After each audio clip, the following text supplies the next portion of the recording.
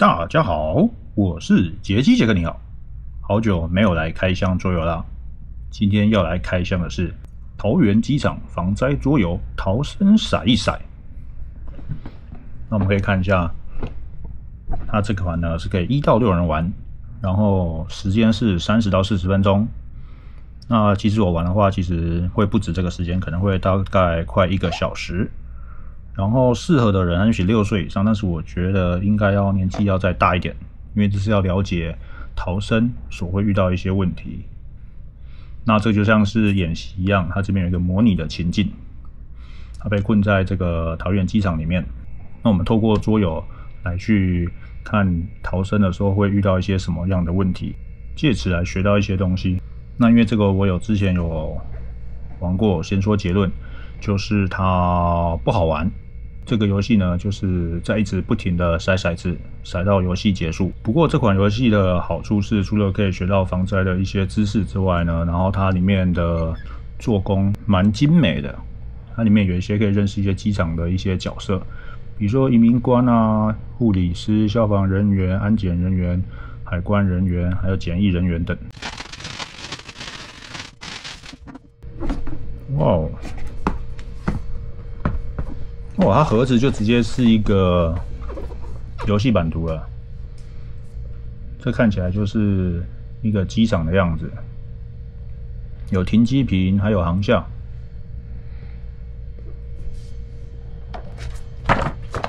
哦，说明书一份。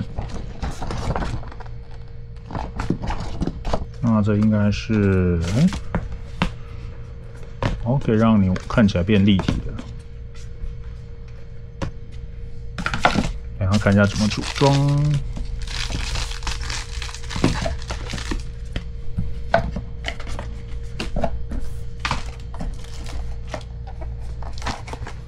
然后，哇，超小的骰塔，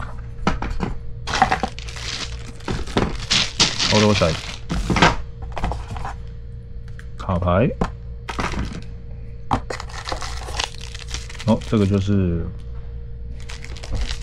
机场各个单位的人员了，护理人员、消防人员、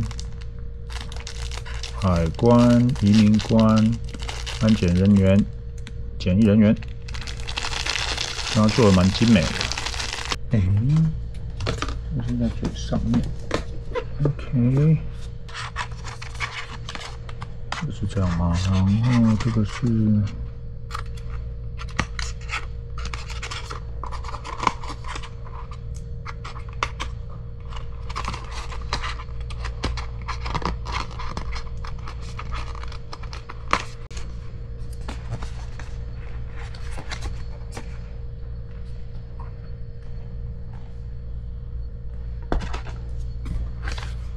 嗯，那它的底座呢？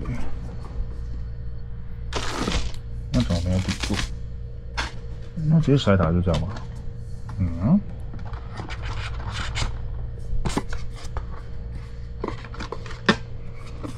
哦，OK。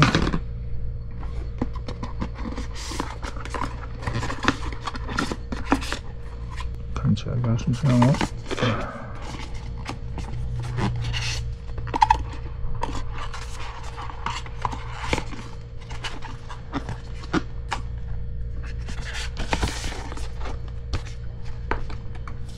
这样，那倒不如用我们这个骰塔比较好。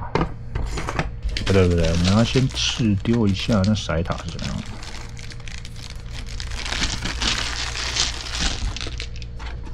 哎呀，我真的很不牢固啊，难怪要送一个小骰塔。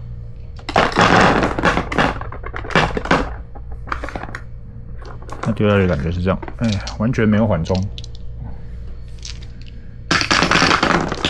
这个就比较 OK 了，所以玩的时候用这个就可以了，不然自备筛塔也可以。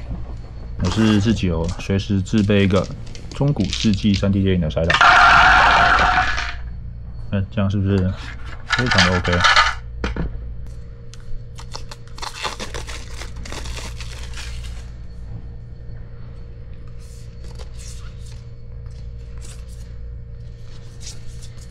那就是各个地形，然后会遇到的各个不同的情况。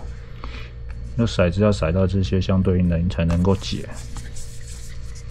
所以这游戏就是一直骰骰子，骰骰子，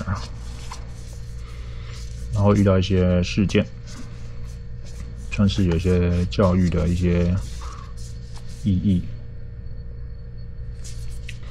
安检人员这边可以认识，也可以顺便认识一下机场各个单位，他们不同单位的人是穿什么样子的。安检人员、消防人员。哦，这个事件是海啸。护理师、移民署，嗯，他这个用错了吧？这个应该是海关吧？有错请指正。然后这应该才是移民署，然后这是检疫人员。再来的话就是看一下这是干嘛的啊？这个好像是。好，我刚才研究过后发现，原来这个像尺的这个东西，它就是骰塔要防止骰骰子把它骰出来的，所以就这样子。那就骰子就不会滚太远了，它只是这个公园而已，这样子。然后这个游戏真的是蛮可惜的，它这个做的这么精美，然后这个图真的很漂亮，可是它真的在游戏中没有发挥什么功用，这真的很可惜。那这个我们就随便拆一个来组装给大家看一下。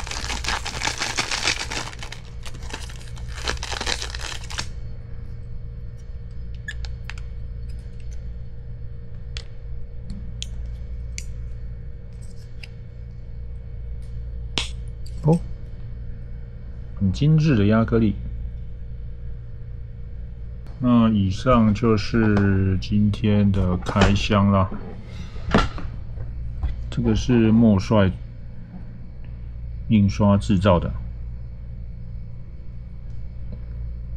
出版商是桃园传送门桌游文教推广协会。